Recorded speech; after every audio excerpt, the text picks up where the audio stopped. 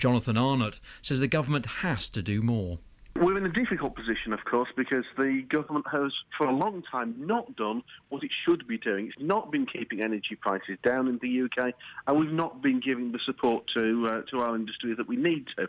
I mean, we need to now look at some form of targeted state aid and make sure that uh, that we do what is necessary to keep those jobs, because long term, the steel industry in this country is sustainable.